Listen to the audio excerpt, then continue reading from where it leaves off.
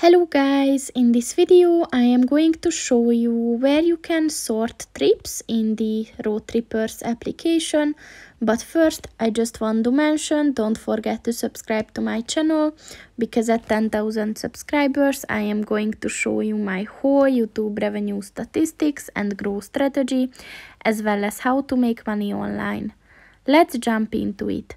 First of all, open the application on your phone and then click on the profile button at the bottom of the page on the right.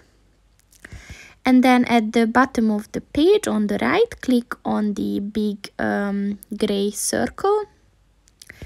And as you can see you can uh, sort trips by uh, recently uploaded trip length trip duration and alphabetical order. So just click on the one that you want to use and then click on the apply button and then the roads will be sorted this way. So that's pretty much it for this video guys. See you in the next one. Goodbye.